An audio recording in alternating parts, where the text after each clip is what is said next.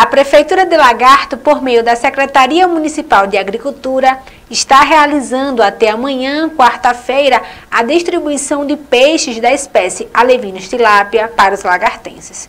Os interessados devem se dirigir até a sede da Secretaria, que fica localizada na Avenida Rotary, número 134, das 7 até as 11 horas da manhã, munidos de RG, CPF e comprovante de residência para fazer a sua retirada.